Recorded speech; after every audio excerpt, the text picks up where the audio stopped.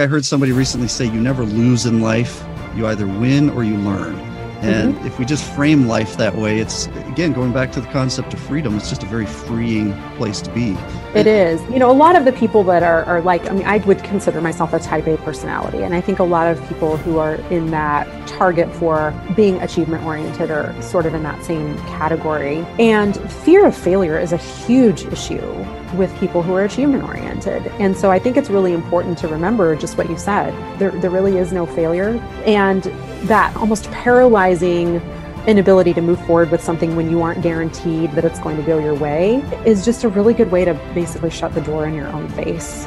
And I just would hate for people to have something they really want to do, but the fear of not moving towards it or the fear of moving towards it is so great that they never do. And the regret of having not tried it is much greater than any potential falling on your face that might occur.